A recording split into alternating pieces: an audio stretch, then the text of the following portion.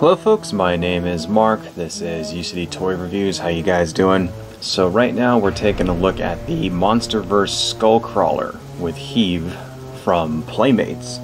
This is for the upcoming movie Godzilla vs. Kong, which was supposed to come out this year but most likely won't because of, you know, the pandemic and all that stuff. And it is a movie that I have been waiting my entire life for.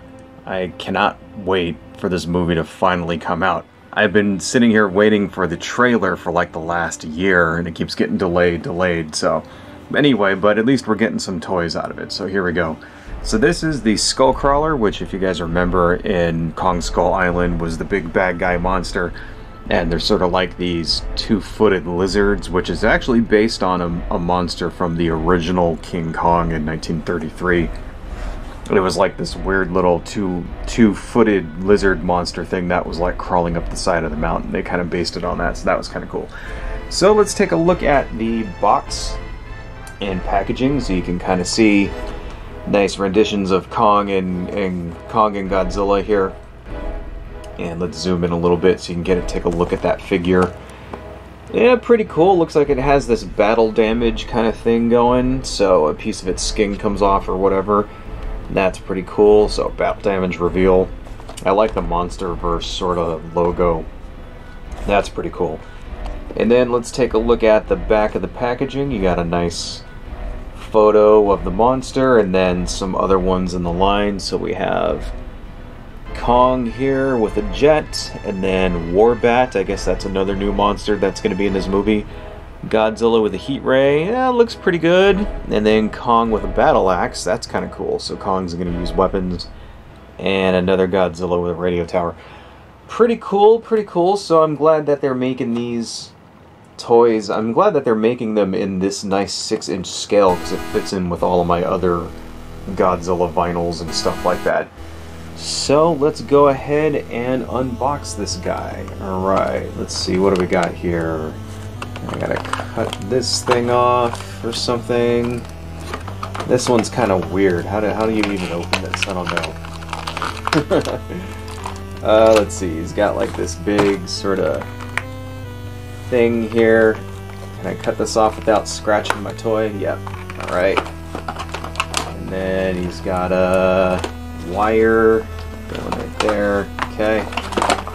And okay, so that came out. And then let's see, there's a tail. Get this tail out of here. And he's got these other things that are sort of piece of skin hanging off. Here's like his back skin. And then I'm guessing this is some kind of vehicle. Okay. So let's get rid of that box there. Okay, here's the figure. Pretty cool. I guess uh, some assembly required, so let's put in the tail. Alright. Uh, let's see, is that going to just snap in? Oh, okay, that just goes right in. Okay, that's cool. So, was afraid that maybe, you know, I'd have to like run it under hot water or something to get that in there. That's kind of long. That might be kind of, uh, wow, look how long it is. it's very, very long here. Look how, they just move the camera down a, a little bit so you can kind of see how long it is. That's at least 8 inches long. I'd have to see here. In fact, you know what? I have a ruler around here somewhere. So let's measure how long this is exactly. Holy crap, it's actually like 12 inches from uh, mouth to uh, head to tail there. In fact, it's more than 12 inches long. It's maybe 12 and a half inches long. So that's pretty big figure. So that's really cool. So let's see, we've got uh, shoulder kind of pivots here, like that, right? And then they go up and down, so that's cool. Then you have nice rounded articulation on his forelegs, so you can get some nice poses out of this thing. And then head, does it spin? Hmm. Looks like it should turn. It doesn't really turn. It does a little bit, you know. Mouth opens and closes, okay.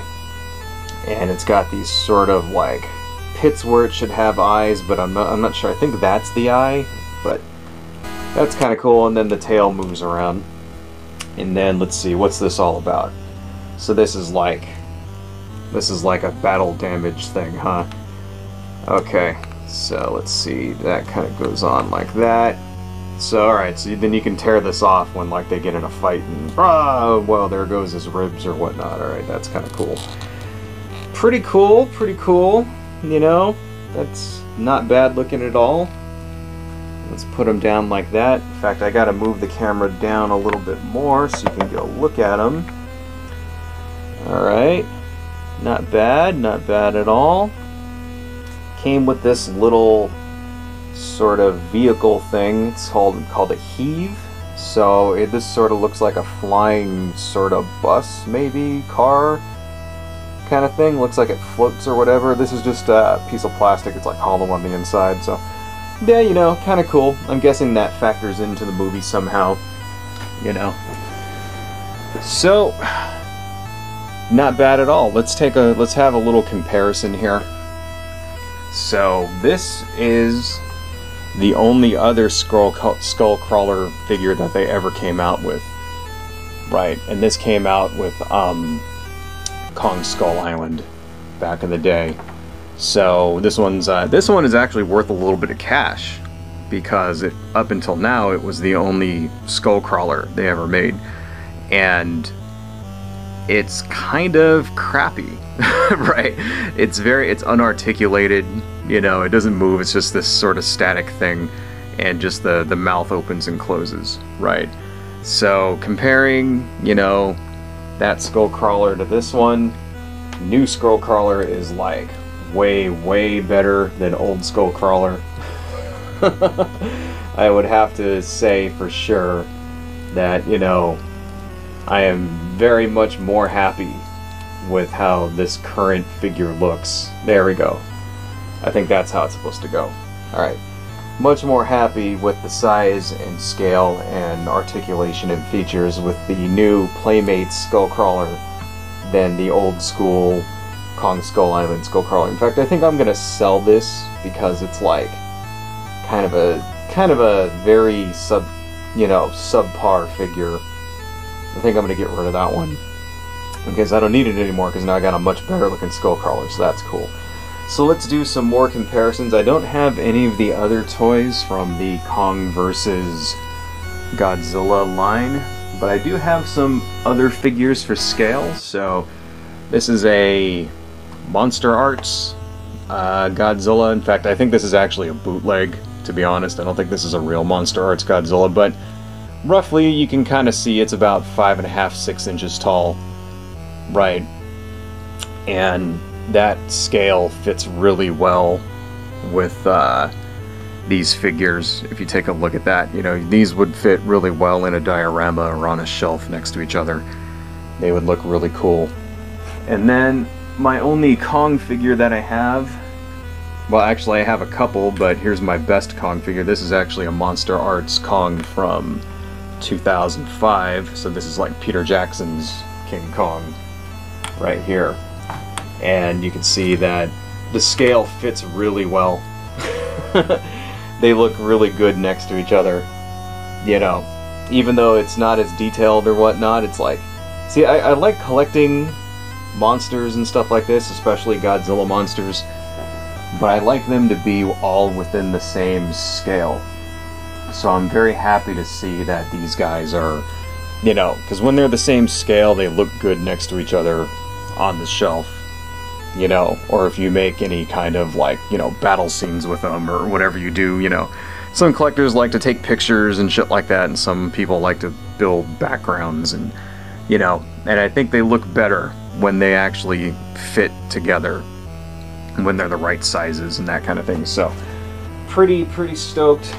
Very happy because you can kind of see how this one is like, fits way better than the old one does. So yeah, um, here's the thing about these things, right? These types of toys, these movie-related ones, tend to go up in value a lot. So if that's the thing you're in for, you know, um, if you're toy collecting and you like to keep stuff minty, this might be one that you might want to consider keeping in the box. Um, I can tell you, even even this old school toy is selling for 50 bucks loose. You know, hundred dollars if it was like still in the package. Who knows? You know, this stuff is like it's who knows about that. I mean, me myself, I don't collect things to resell them later. You know, if something I buy tends to go up in value, that's just a little bonus for me. I don't really invest in toys. you know what I mean? Like, if you're gonna do that, you should be buying stocks. Don't don't don't buy toys as an investment. Buy stocks. You know, buy buy gold. Buy some other actual real investment that'll actually give you money. You know, toys are more of a passion, but you know, it's one of those things that's like, okay, well, if it does happen to be worth all kinds of cash or whatnot, it's not like I'm complaining. So anyhow, yeah, you know, these are in stores now. They're kind of hard to find, so go out there and get them, folks. Adios.